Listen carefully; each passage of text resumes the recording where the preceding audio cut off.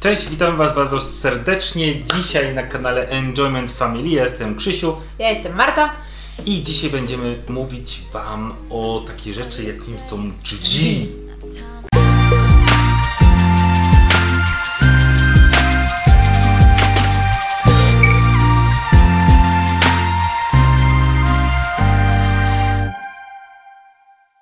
Dzisiaj przeprowadzimy Was naszą drogą prób i błędów.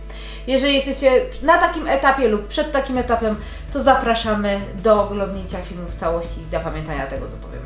Więc zaczynamy może od wyboru drzwi. Drzwi. My zdecydowaliśmy się głównie na ościeżnice regulowane w tych drzwiach. Są one łatwiejsze w montażu, przyjemniejsze w montażu. One są droższe, ale moim zdaniem są dużo lepsze, ładniej wyglądają. No Tak. i przyjemniej się je montuje, przynajmniej ja odnoszę takie wrażenie. I gdy już, już wiemy, że chcemy drzwi w takim kolorze, z takiej konkretnej, załóżmy, wzoru i tak dalej, musimy wiedzieć, jaką grubość mamy ścian. Nasza grubość ścian to jest 14 głupich centymetrów. O.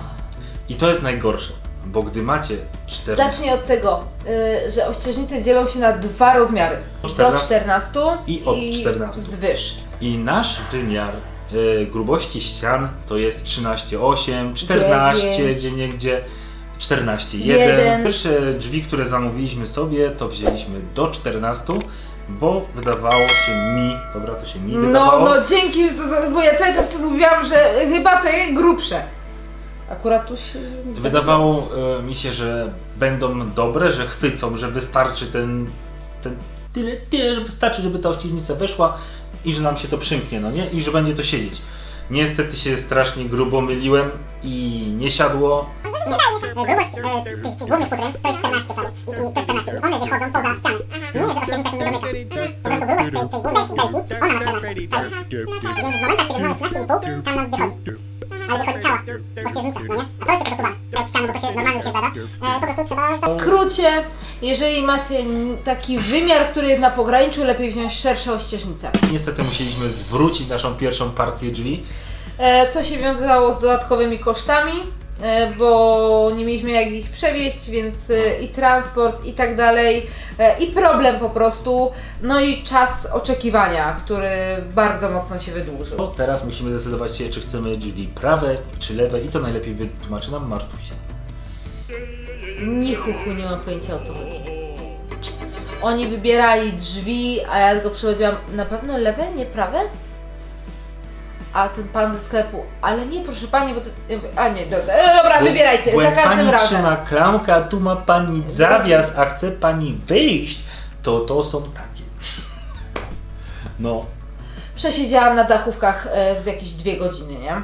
I gdy mamy już te prawe, lewe drzwi, trzeba też jeszcze podczas wyboru dobrze sobie sprawdzić, pod której stronie te drzwi mają być. Jak na przykład jesteśmy w korytarzu i czy te drzwi mają być wewnątrz, załóżmy, pomieszczenia, czy wewnątrz korytarza, tak? Tak.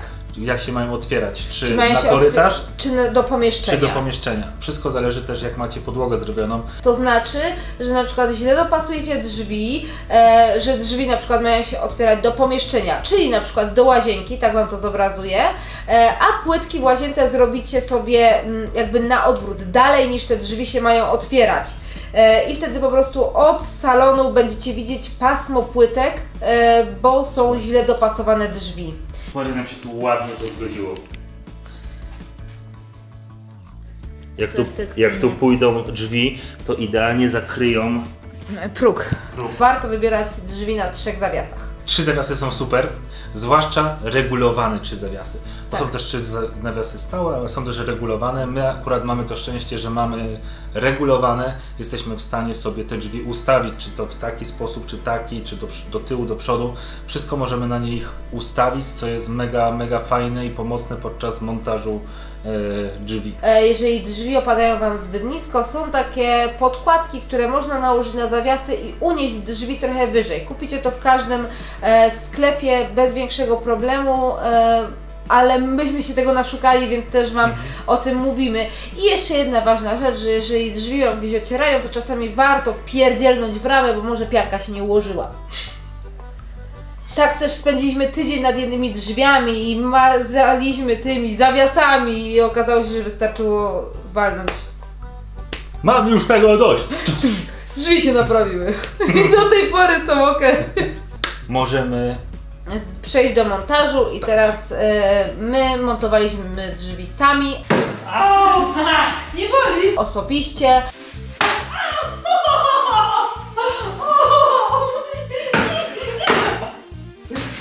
dwa razy i czemu ten ostry?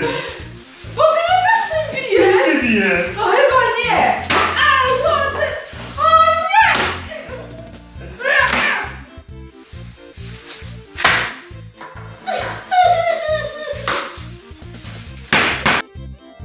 A narzędzie takie, które używaliśmy podczas montażu, ten y, Volcraft do montażu drzwi, kosztował nas y, około 300-400 Złoty. zł. To jest taki specjalny mm, dynks, specjalne narzędzie, które ułatwia nam wprawianie drzwi.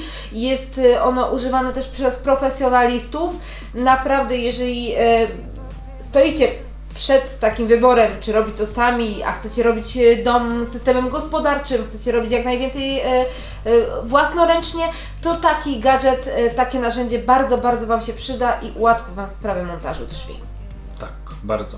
Zwłaszcza, że on już pomaga zaraz na początku, gdy już rozłożymy sobie futrynę na ziemi, żeby ją poskładać, tak żeby ją całą złożyć ze sobą, to w tym momencie on już nam pomaga, bo już możemy sobie dzięki niemu uchwycić kąty e, tej futryny, czyli łapiemy sobie tam w dwóch miejscach, dokręcamy i już mamy e, kąt chwycony. Dodatkowo futryna jest bardzo stabilna e, przez po, całe połączenie e, tym dynksem. E, nie rusza nam się w żaden sposób na boki, bez problemu można ją przenieść i wstawić. Tak. Nawet można to wtedy robić w pojedynkę, czyli po prostu jedna osoba sobie skręca, jedna osoba jest w stanie przenieść te drzwi. One się nam nie, nie gną w żaden sposób, bo są bardzo dobrze y, skręcone tym, y, tym narzędziem. I później możemy je po prostu przyłożyć y, do wnęki na drzwi i dodatkowo zablokować takimi górnymi elementami, które tam wystarczy je przekręcić rączki i one się już tam całe drzwi trzymają, więc Dzięki e, temu raz, że drzwi nie uszkodzicie, dwa, tak jak Krzyś mówi, gdy drzwi są już wstawione i musicie je wypoziomować, e, to wystarczy kręcić e, pokrętłami, które są w tym, w tym narzędziu e, i nie musicie podkładać żadnych kołków, dobijać, przebijać, e, tak jak to się robiło kiedyś, e, tylko jest to zdecydowanie szybsze, sprawne, łatwiejsze i przyjemniejsze, bez zbędnych nerwów. Bardzo ważna rzecz, te dwie poprzeczne belki, które są tam przy montażu, one powodują to, że gdy pianujecie sobie ościeżnice po bokach, w tym momencie one się Wam nie schodzą do siebie, bo blokuje ich te, te dwie poprzeczne belki, dzięki czemu nie ma możliwości, że później, gdy zakładacie drzwi, one będą Wam się nie zamykać, tak? Bo ościeżnice Wam się wygięły.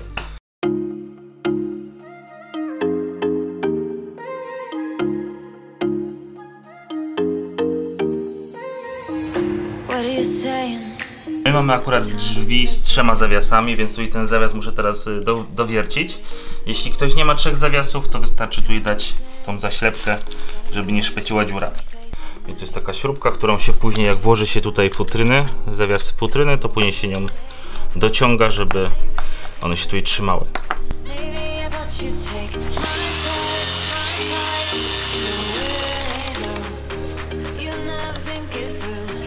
Tutaj są takie specjalne dwie dziurki na te e, łączniki, żeby złączyć futrynę jedną z drugą.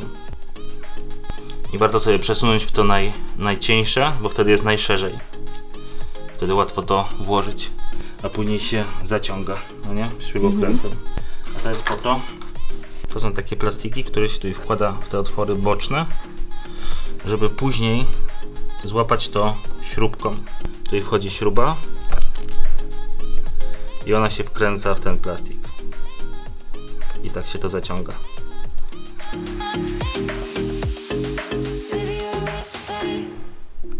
Teraz te śrubki sobie tutaj wsadzimy z boku. Wkładamy jej od strony tej białej, bo ta czarna jest węższa i to na niej się zaciąga. Bierzemy sobie ten gadżet, żeby nam się to trzymało. To się nazywa Volcraft do montażu ościeżnic. Żeby nam było łatwiej skręcić teraz tutaj te rzeczy, które są jeszcze tutaj, jak widać, ruchome, tak, jeszcze to nie jest poskręcane, to ja sobie od razu przeniosę wymiar, jaki jest tutaj na górze, na dół drzwi, żeby od razu było to równo. Wkładamy sobie i ciągniemy.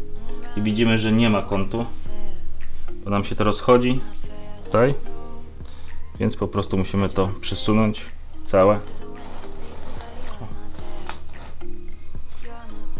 I mamy. My tutaj chwycimy to.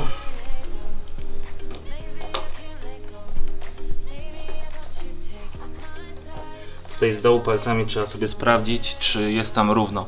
Bo czasami jak mamy na przykład, nie wiem, na panelach jest gdzieś coś, może coś krzywo być, no to w tym momencie tam palcami sobie należy sprawdzić, czy jest y, równa tutaj ta jedna ościeżnica do drugiej. Teraz jak mamy to już delikatnie tutaj chwycone, to tutaj widzimy, że nam się to jeszcze nierówno schodzi. To przed y, zaciągnięciem tych śrub trzeba to sobie ustawić. Dopiero teraz zaciągamy.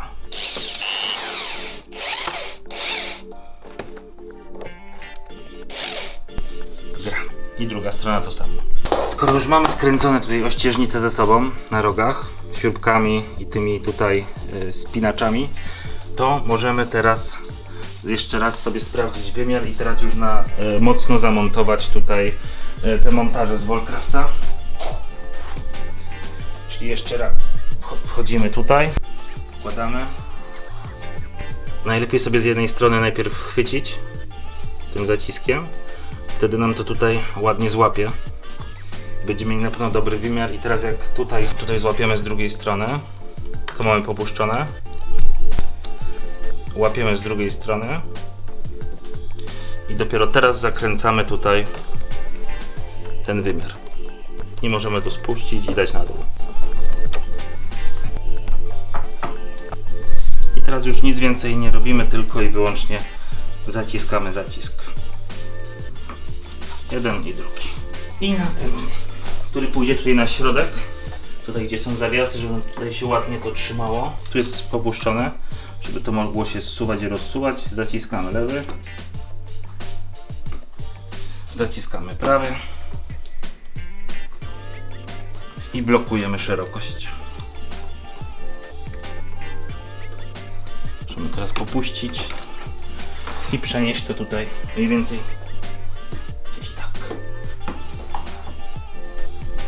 Teraz jeszcze sobie od razu można sprawdzić, zanim zaczniemy montować, czy na pewno nam to wszystko tu równo wyszło. 82,2 i 82,2. I to też jest super.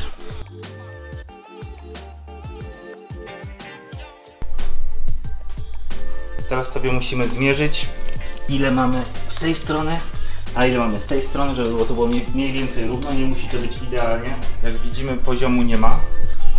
Delikatnie uciekają. Więc będziemy musieli je troszeczkę o tą stronę. Tak, tak zrobić. Nie wiem, czy widzisz tą szczelinę tu na górze. Najpierw zblokujemy sobie tutaj z prawej strony na dole, żeby nam się to nie przesuwało. Jak będziemy górę przesuwać tak troszeczkę, to dół nam się będzie trzymał. Taki fajny gadżet jest właśnie w tym wallcrafcie, że można sobie tym kręcić i to nam tutaj do ściany dojdzie i zblokuje nam te drzwi tutaj. I mamy zblokowane.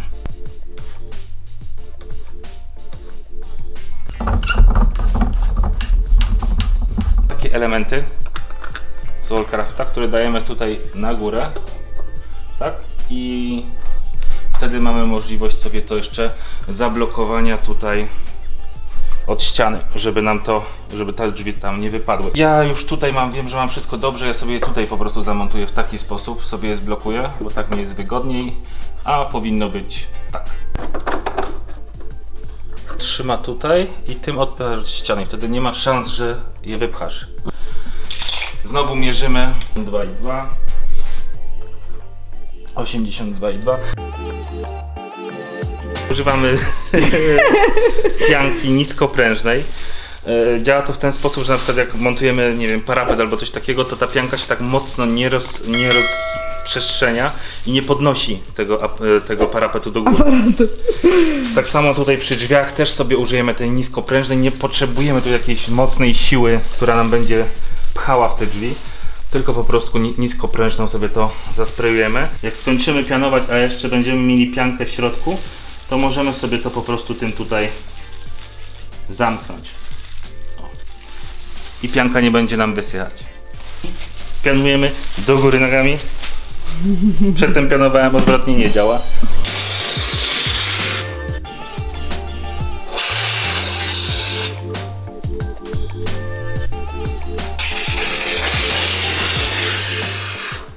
Najpierw pianujemy w kilku punktach, i zostawiamy gdzieś tak na dwie godzinki. Mhm, dwie godzinki, coś takiego.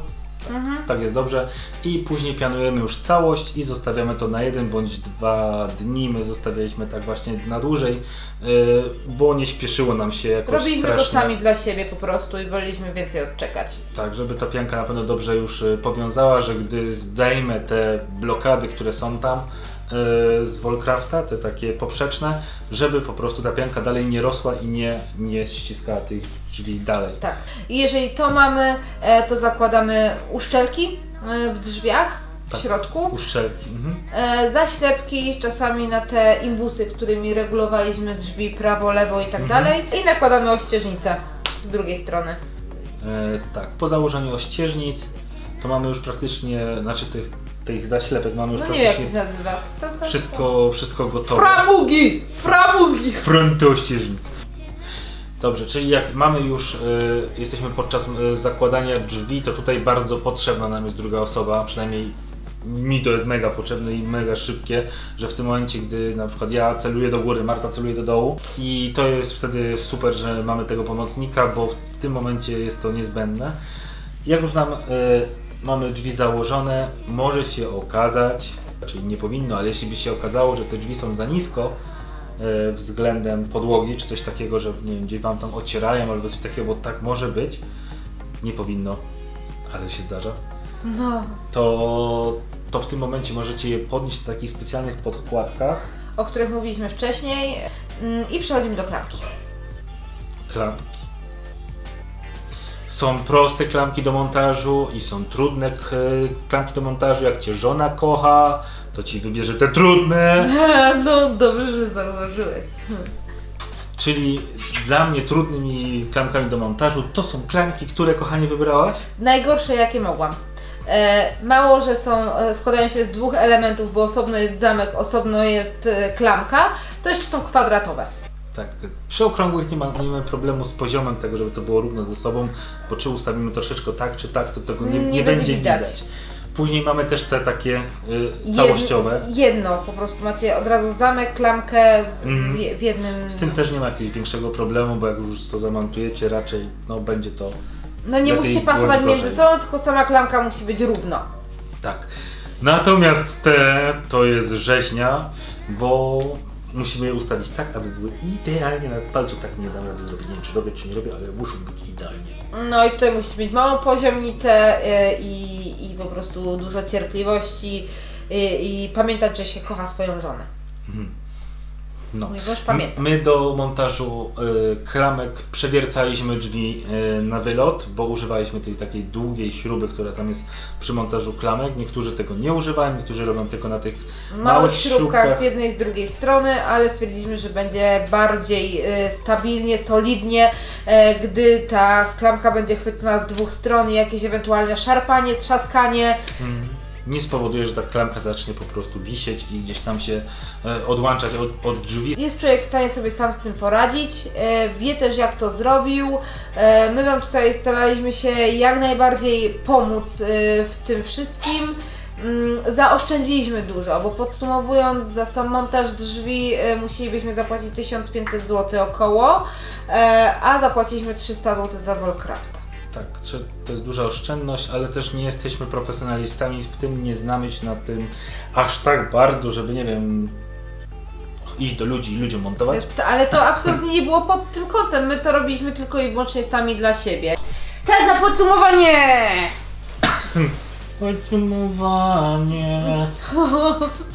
E, Podsumowanie, my bardzo serdecznie Wam to polecamy. Jest to super sposób, jeżeli ktoś robi dom systemem gospodarczym, to naprawdę jest w stanie zaoszczędzić, bo my z 1200 zł, które musielibyśmy zapłacić za montaż, zapłaciliśmy 300. Także polecamy. I to już wszystko w tym odcinku. Dziękujemy Wam bardzo za uwagę. Zapraszamy na nasze media, czyli na Instagrama do Marty Instagrama do Krzysia. i do zobaczenia w kolejnym filmie. Subskrybujcie. Pa!